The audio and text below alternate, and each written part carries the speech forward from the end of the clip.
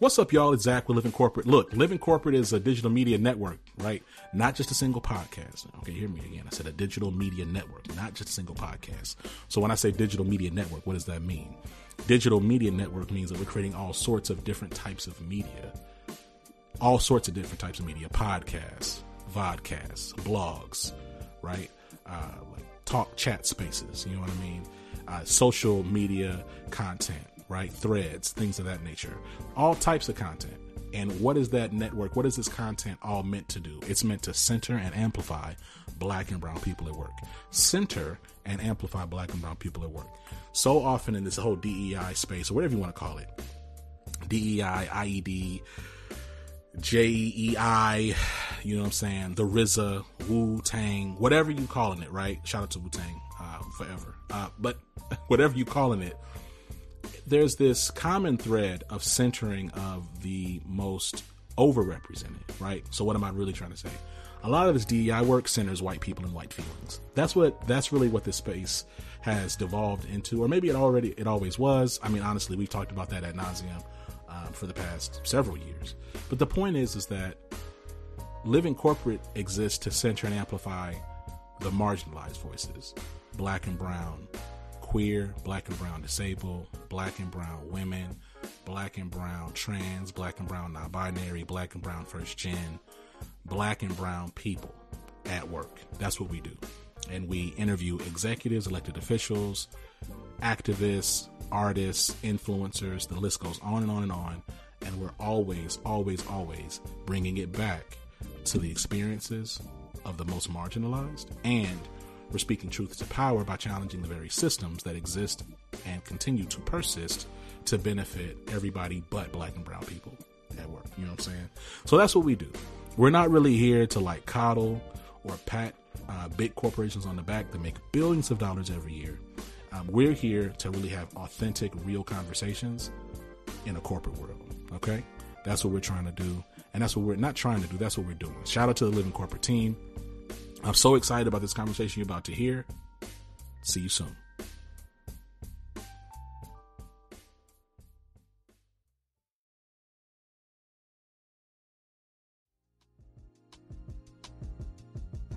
Sharon Birkman. How are you doing? I am doing so well and absolutely overjoyed to be having this conversation with you, Zach. Sharon, you know, I I, I want to say I want to start by saying that you know, there are a ton of like, what's the word? Like workplace personality type tools, and like, mm-hmm. you know, and more every day, and more every day. I think. I mean, I think the one that people love, um, um, really, really leaning against, uh, is Myers Briggs, right? But there's a ton. But there's there's tons. Um, I recall back when, and I'm gonna shout her out because she is was a phenomenal mentor sponsor to me. Carmen Alston um, yes. So Carmen was was very, very insistent um, that I become Birkman certified, and this was, sheesh, now this was almost a decade ago um, mm.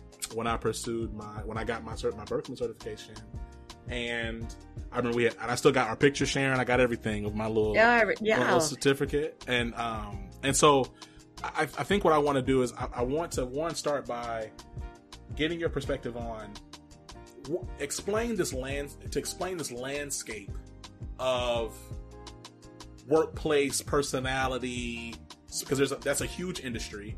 And then it is. and then two talk a little bit about birkman and, and how maybe y'all are different. I'd be happy to. Well one of the things that is notable for us is that we have been around birkman method has been around for 71 years.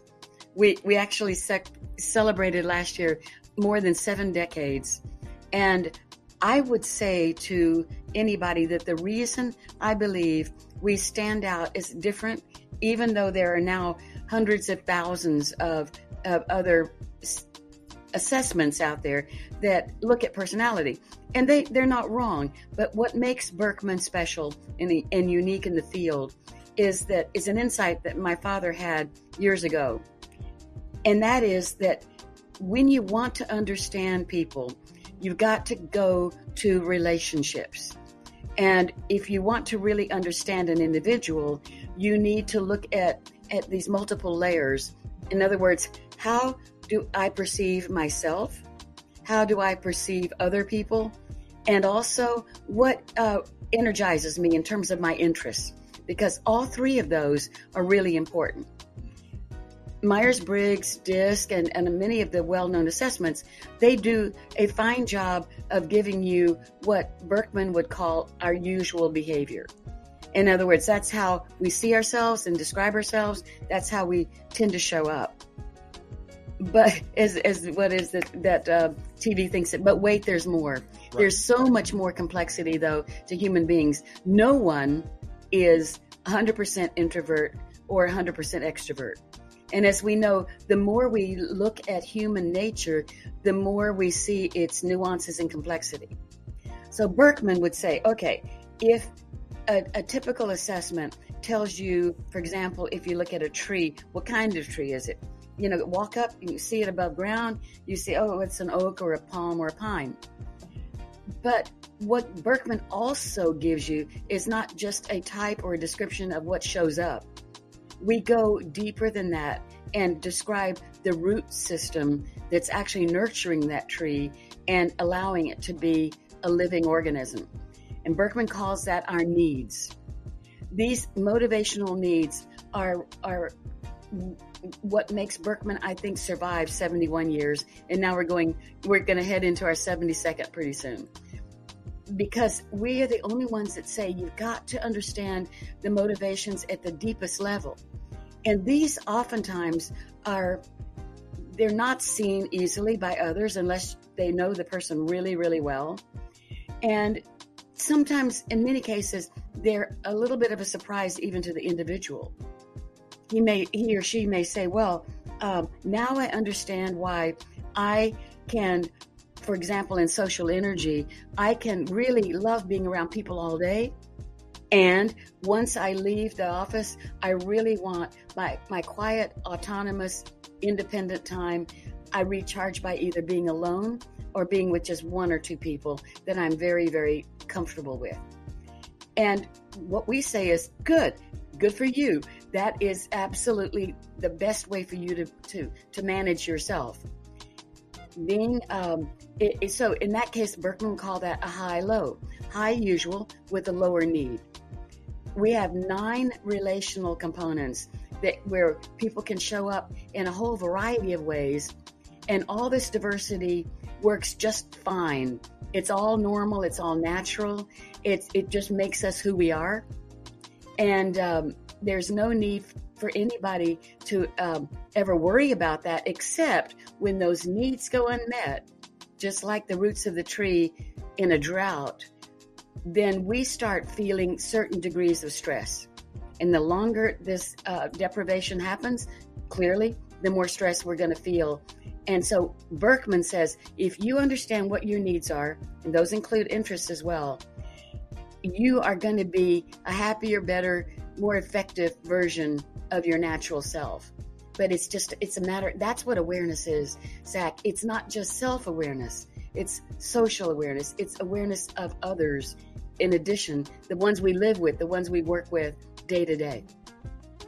You know, it's I, one I appreciate that um, just kind of like level setting in context.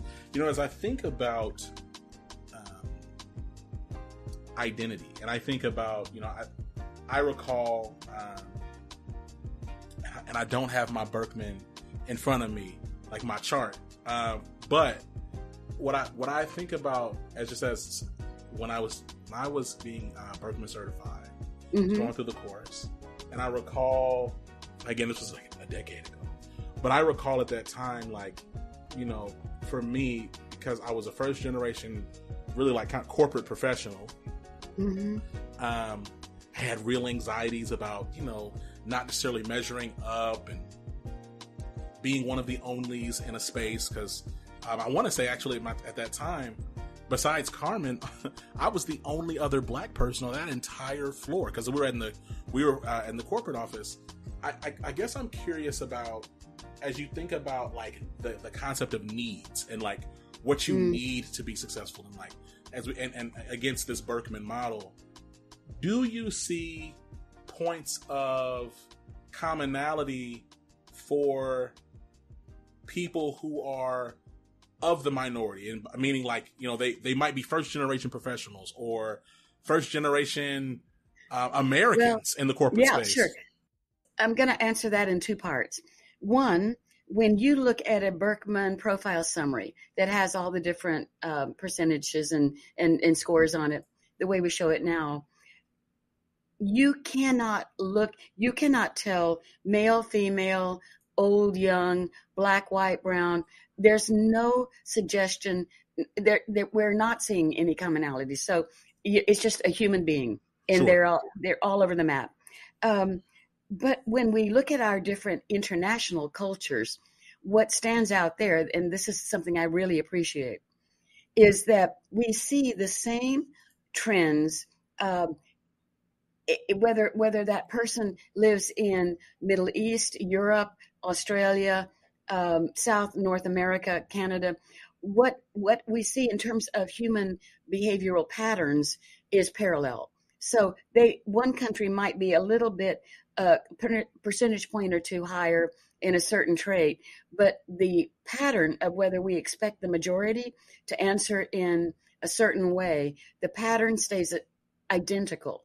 And that's what, what I think at the end of the day, as Maya Angelou said so brilliantly, we're all more alike than we are different but those differences are really critical to society. It's it, they're critical to us being able to function in a company, in a team. We we need those differences to survive, and uh, yet it's interesting how much uh, when you get into the research, there there aren't the differences you might expect at at the Birkman level. It's interesting because as I think about like one, I I'm always curious about like you know, these like workplace personality tests mm-hmm. and things of nature, mainly because I believe they can be a really strong point of inform in how you manage talent, right? And so what I'm curious about is like where would you envision Birkman, like a Birkman study or um you know it, how would how would you see that or envision that being paired with uh, an organization's goal to be more inclusive and and equitable and how they manage their teams? Well, I th- I think the way I look at it is when you invest in in development of the employee, and that includes being able to give them the advantage of the Birkman information, and and also enhance the relationships between colleagues and teams and supervisor and direct reports. When you're doing those things, you're saying, I care about my people and I value them.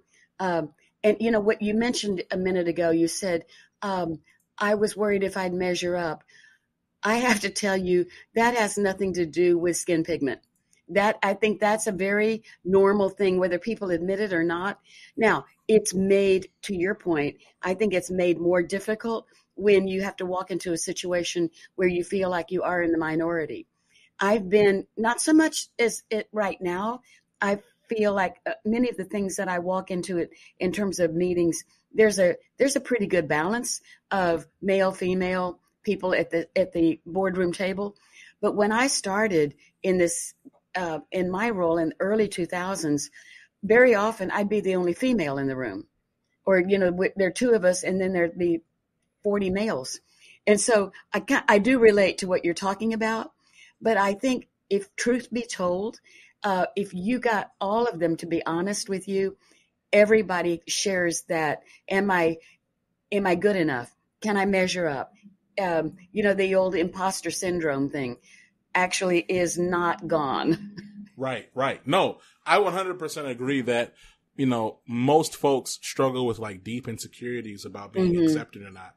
I think my challenge to that would be that black and brown folks typically face um, even more. Yeah, and a more yeah. and a more and a more pointed pressure mm-hmm. uh, to make sure that they actually do belong, right? Like there's exactly, this... you know, and and shame on us as and on on us as a nation that um, this has been allowed to persist for way too long, and um, there, in my view, and I don't want, to, I'm not meaning to be political, but I do believe that.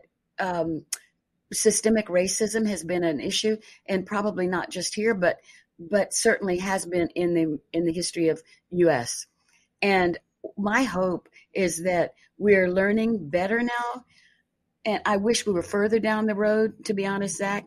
But I that's why I think Birkman that you know we're trying to expand people's perception of what diversity really is. And of course, equity always matters. And if anything, I would say for a company, if anything could aid and enhance the feeling of being included, it would be showing people how they can be less judgmental. And I'm talking about like personality wise, sure. that in a meeting. Okay, here's a here's a story, true story. Years ago, I was standing in a line in New York City, and when I got it was a to to speak with a person who had been the speaker. And when I got ready to introduce myself, the person behind me heard me say Birkman. Mm-hmm. And she said, Oh, are you Birkman from that personality test? and when she said that, I, um, yeah, you know, I wasn't quite sure whether that was, whether she liked it or was upset. Mm-hmm. But we got into a little conversation and she said, excuse me, I just want you to know that in my company, and this was in Manhattan, by the way, mm-hmm. um, we uh, we did a team building with a consultant, and we used the Birkman. And in my uh, office, there was a lady that I had to work with every day, but she drove me crazy. And uh, I really thought she just got up in the morning and came to work to get on my bad side. And she said, after we did the Birkman, I realized that um, actually I understood where her strengths were, where she was coming from, and that the role she had was was beneficial to the team. And so we eventually ended up gradually uh, getting those barriers came down.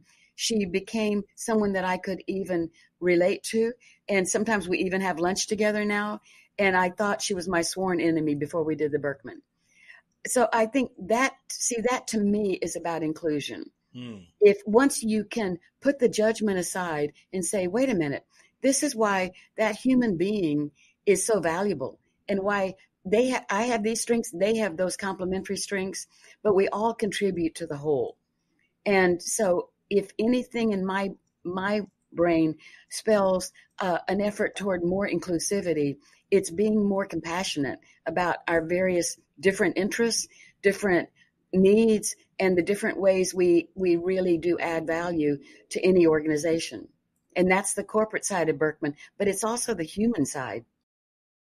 You know to that end right like i think about this the future of work and i think about you know gen zers i'm a i'm millennial people keep on i've i've said this to a few folks uh sharon is that people love continue to talk about millennials as if millennials are like you know, like the youngest group, but like millennials are turning 40, you know? So like really. You know, there's Gen Z now, Zach. That's what I was saying, right? Like, yeah. and so you, we talk about Gen Z and that's really more so like my siblings, like my siblings are in their early 20s, but there's some, there are Gen Zers who are, you know, one or two years into their careers. I'm curious as you think about Birkman and, uh, and its future, right? You talked about the fact that it's been around for over 70 years and come, you know, mm-hmm. 71 years coming up on 72. You mm-hmm. think about you think about Birkman like between now and like 2030 as this new generation of work comes you know comes into the the the workplace. What is your vision, or you know, where do you what role do you see it playing as you know leadership organizations facing probably the most politically engaged, yeah, uh, racially diverse, diverse, um, and, um, and, and, and most diverse from a, from a sexual orientation perspective. Like, you know, what do you, what do you think about that in terms of the role that Birkman can play to drive or to help support, uh, inclusion and development and transition? Yes, I don't know uh, specifically how we do that, but in a general sense, I would say it it again kind of circling back to the inclusivity that can be nurtured and enhanced when we better understand self and others because we're hopefully going to be less defensive less judgmental mm. and and i would say compassionate understanding um, i don't know if you'd heard this already zach but the original name for the birkman method that my dad had. He called it a test of social comprehension. Mm. And, and, you know, the other day, a, a while back, I was thinking about that, that the word to comprehend means to understand. Mm. And so, mm-hmm. really, it's about how well can we promote um, a much more appreciative, inclusive, compassionate understanding of the people we live with, the people we work with, uh, the people that make society a better place to, to live in. Um, and that would be my dream. What's really, you know, not much has changed over the years in terms of the questionnaire, relatively little.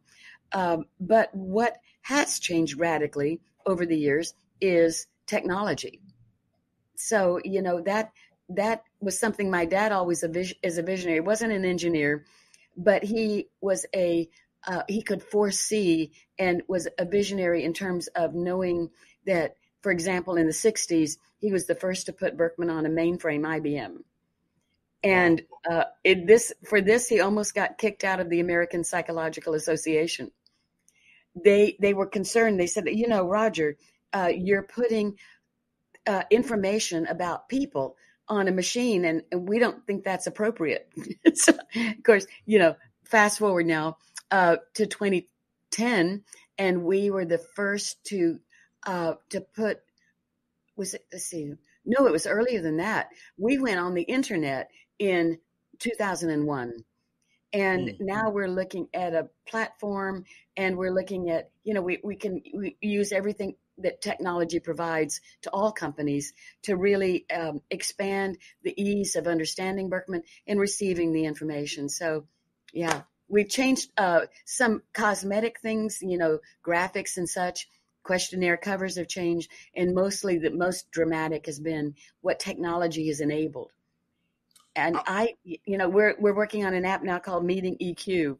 Uh, so it, it's if you can walk into a meeting and pull up several things that would be useful for you to remember before I go onto my meeting with Zach.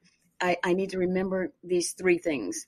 You know, so that's some that's kind of that's in process at the moment. That's really exciting. You know, as I think about Birkman and and tools like it, but really like speaking on Birkman for this conversation is I, mm-hmm. I, think about the power of of insight, right? Like being able to understand the why behind people's what, um, understanding, mm-hmm. you know, the types of environments they need to be successful. Um, you know, there's a lot of conversations around the future of work and working from home versus working mm-hmm. in office and um, you know, yeah, what are your thoughts on that, Zach?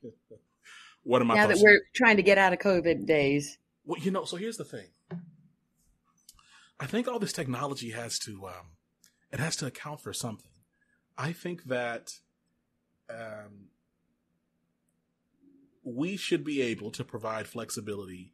If folk, mm-hmm. there are people who are who are extremely uh, what, what, what are we talking about? What like where you what you need, right? So there are people who, based on what they need, they need in person interaction mm-hmm. and they need the socialization of and human pro, you know human proximity. They need that. They need that to be yes. to to function. To and be, I, yeah, to be motivated and energized. And so, and, and so, in the spirit of inclusion, I believe those people should be empowered to have an environment that allows them to do to to get that and i think especially if their job naturally calls for those things mm-hmm. and again, in the spirit of inclusion, I believe that, you know, if there are folks like me, I'll, for example, Sharon, I'm like, I'm really, I'm like, I can, I can go really long without having to be in person with anybody. I love my family. I have, you and I talked about off mic. I have a, I have a well, two year old. Yeah. But you have lower uh, social energy needs, which means that you can, you can enjoy the, that independent time with just a few people or just well, special people. You got it. You got it. And I, and it and it's very special to me. I very much so appreciate it. So I so what I don't think is that it's a one size fit all. I think, but and I, but I, but I, but I'll say I'll say it I'll say it simply. I believe that remote work, uh, or rather, uh, yeah, remote work, not ro- uh, work from home, because people can work from all sorts of places. I mm-hmm. think I think remote work is here to stay. I believe it's here that, to stay. I believe that it's, I think it's imperative that organizations continue to leverage their technology and be innovative and creative in how they do their work. And I think it's important to provide options for those who have higher socialization needs and who get their energy, to your point, from from a bunch of different people. Right. Actually, now what we can do, Zach, is look at a person's Birkman profile and make some pretty useful deductions about who's going to be able to be very productive and more than effective working remotely and and who really is going to choose that they can be more effective if they come into the office um, particularly you know if we look at our Birkman map um, mm-hmm. the people on the right side of the map say you say well I'll call it the east side um, they really to do collaborative work, to brainstorm in a team setting, bounce ideas off each other. The human connection, uh, at least during the workday, is can be very valuable, at least part of the time. Sure. The people that are on the task oriented side, in, in our case, if we use our colors, the red, yellow, very often, if they're doing coding, if they're doing accounting, they need the focus. And if they're disciplined and, and, um, you know, have a good remote setting, they can be 100% effective remotely. And so I think you're exactly right. I think remote is here to stay. And, and we, you know, we certainly see we've had hybrid in place now since the middle of 21 and it's working just fine. And we have, um, but, but we have certain days and certain times that people do gather in the office. And then those who thrive on the remote work do that a little more often and the ones that choose to come in the office have that option anytime they want. Well, I think I think here's the other piece, though. I, I would imagine, um, in environments where leadership is, there where there's higher, there's a higher trust quotient. Mm-hmm. That flexibility around remote and hybrid working is going to be higher. Whereas, yeah. like, if we're in a really um, controlling, I use a bunch of other words, but I'll, for the sake of this yeah. conversation, I'll say controlling environment with um, low levels of autonomy or like you know respect to innovation and things of that nature. And it's really more about like I'm just telling you what to do. I would imagine you know you want they they they they are more resistant to that. I mean, I think we saw recently there was like a CEO, huge uh, banking organization, who was mm-hmm. tracking.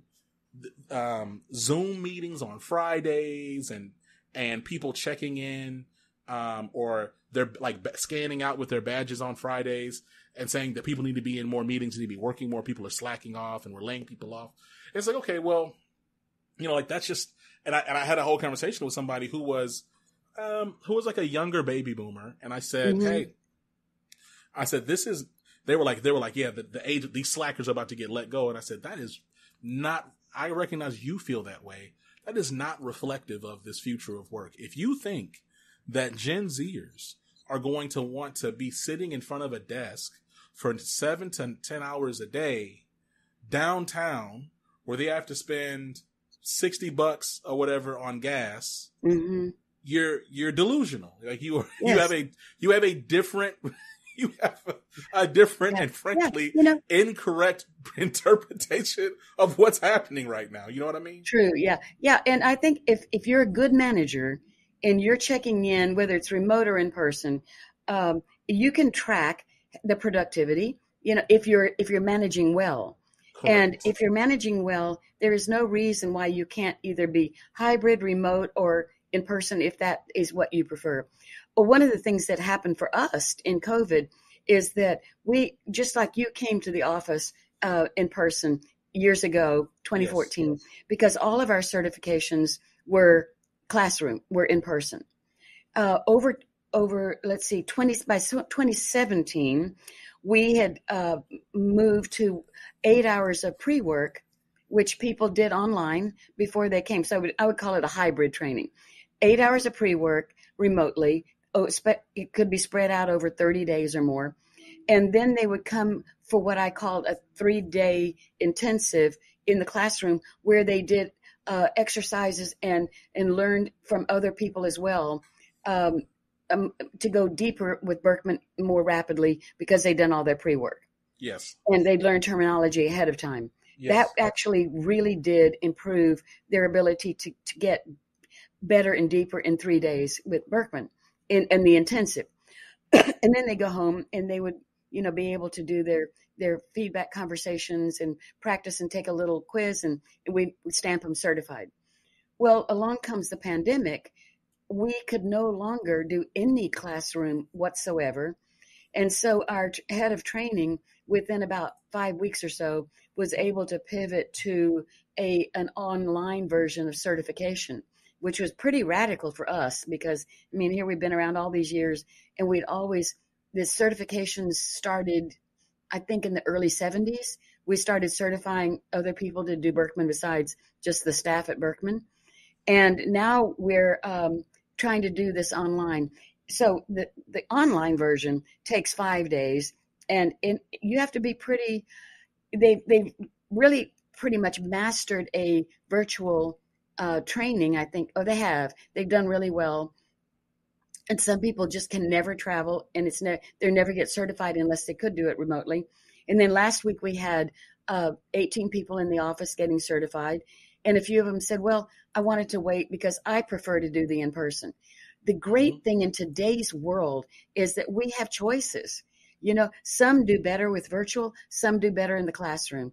And guess what? That's part of diversity. Yeah. And so for us at Birkman, the more inclusive approach is to offer both. I, I love it. Um, I again, I, I, I recall, and even though I've not kept with my certification, what I will say, Sharon, is what I appreciated about Birkman at that time because I remember I was really trying to figure out, okay, what is it that I need? Because Carmen and I would have ongoing conversations about, hey, like what what is the environment that's good for you, mm-hmm. and and and how how do you behave? Like how are you operating and performing under high stress, and then how you perform when you're actually getting the things that you need. And she was very yeah. encouraging, and so it was just it was for me it was a really great like personal, yeah. almost like self discovery tool. Oh yeah, that's what it. Well, that's exactly what it's intended to be, and I I love that you use the word discovery because that's when the light bulbs go off. When our best moments, when when we sit down, and now we call it a conversation rather than a feedback, because it's not a performance review. It's uh, when I sit down and walk a person through their birkman what we call now the signature report, which is a good starting point to just kind of give a quick overview of the five different dimensions of the person's birkman report. It can't cover all the bases, but it's a great place to start. And so we, we, we show them the Birkman map, the you are here, just it's broad, but it gets them oriented. And then we talk about how they show up, their usual behavior. It's always positive. Uh, what they need to stay recharged, those motivation, motivating underlying needs. And those, again, that's really the secret sauce of the Birkman, My dad would say, that's our, he called it the Coca Cola formula. That's the part that makes Birkman really special. And then uh, how we could show up if we do get pulled into stress, which, you know, life is not easy. I think we all, we're all human. We all have our days that we experience stress. And that is like, for me, that's the warning light that comes up on the car dashboard when you need gas or you need to check tire pressure or check your engine, the check engine light. When that comes on, what do we do? We pull over and we take care of the car. We need to do the same thing for ourselves as humans because we're infinitely more intelligent and more complex than an automobile. And then finally, the last part is the career part, where we've now validated. Um, we take all of the above, the interests, the uh, in the usual need and the and the needs.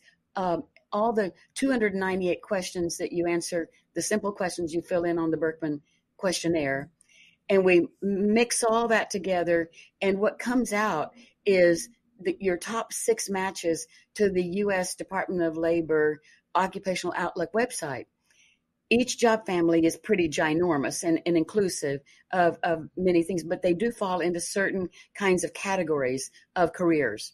And so the, the final part of the birkman for the person after they've done usual needs, stress, and interest is to see what do I look like in terms of my career matches. So whether you're a student in college or high school going to college, college going to a job, job going through a career path, in the organization, that's where looking at these job family matches can be so helpful. I was curious because you have you mentioned that you're not still certified. You can be re-upped, but I wondered if you had seen the signature report that we released in 2016. I had not, and I wanted to talk a little bit about that. Yeah, I need to walk you through that, Zach. You know, when it's a good time for you, um, let's set a time and do that. I want to do that. I very much so want to do that because one, you know, we had talked again. We had talked offline about even just like the different ways, um, like just the the intersection of identity and Birkman and how how this can just support inclusion mm-hmm. in the workplace and better team and more inclusive teaming and leadership. Uh, but you had talked a little bit about the neurodiversity report um, mm-hmm. that Birkman had developed.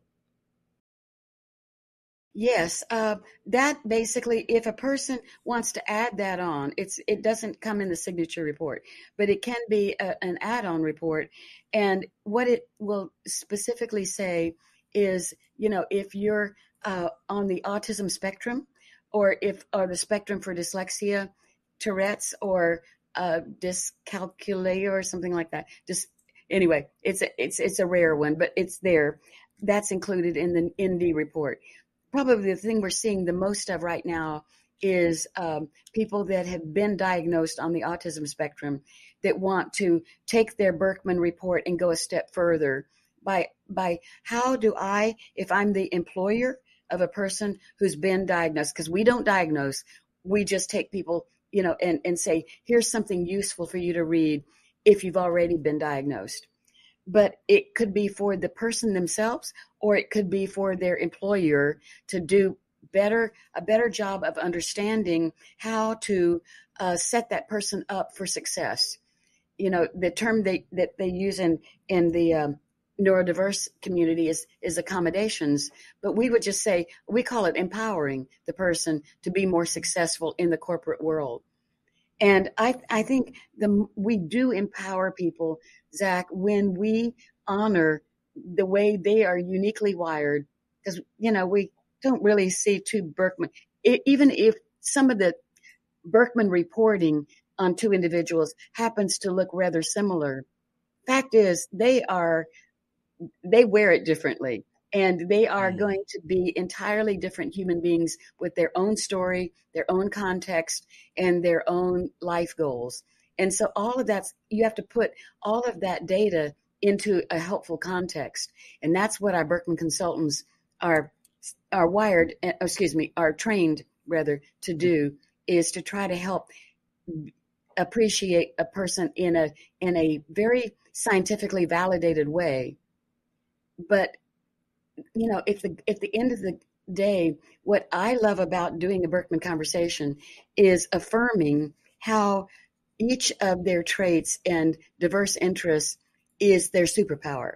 That's that's what makes people.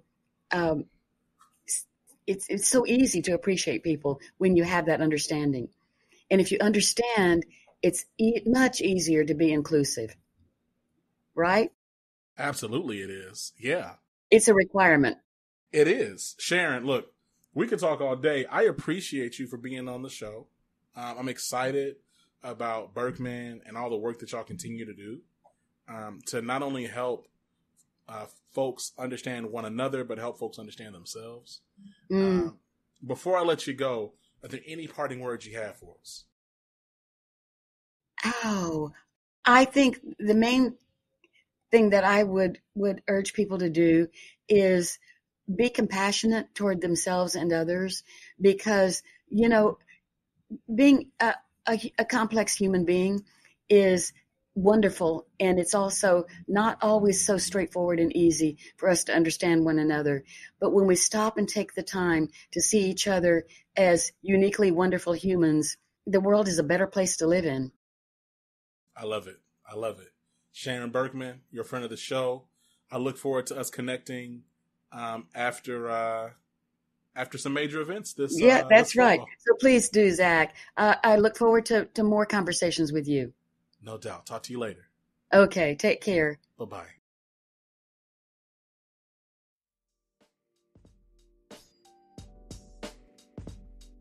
Yo, thank you so much for rapping hanging out with us this week on Living Corporate. Make sure that you check us check our content out on living dash corporate. Please say the dash.com. You can see our entire network of shows. We have all types of content that we've been publishing. Um, that's all focused on Black and Brown folks at work, different lenses: mental health, career development, executive leadership, right, wellness, freedom, all types of different lenses, but it's all focused on historically marginalized, oppressed, exploited, underinvested, disinvested people. That's what we're here for. So, also click the link in the show notes. Make sure you check out our merch. Cop a hoodie. It's getting cool. Oh no, it's not getting cool. It's not getting cool. Eh, I don't know. Depends on where you at.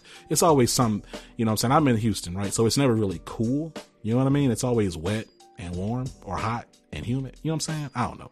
But I'm sure it's hoodie season somewhere. So make sure you go on the go on the website. If you don't want to cop a hoodie, cop a tank top. You know what I'm saying? Cop a mask. You know what I'm saying? Still wear a mask. Look, come on now. The pandemic still a pandemic, and I know y'all don't want to act like it is, but people still getting sick out here. Trust me, I got coworkers. People be okay. I got friends. All right, be careful. You know what I'm saying? Make sure you you you you you get familiar. You know what I'm saying? Take care of yourself. Uh, and look, until next time, this has been Zach. Thank you so much for rocking with Living Corporate. We'll talk to you soon. Peace.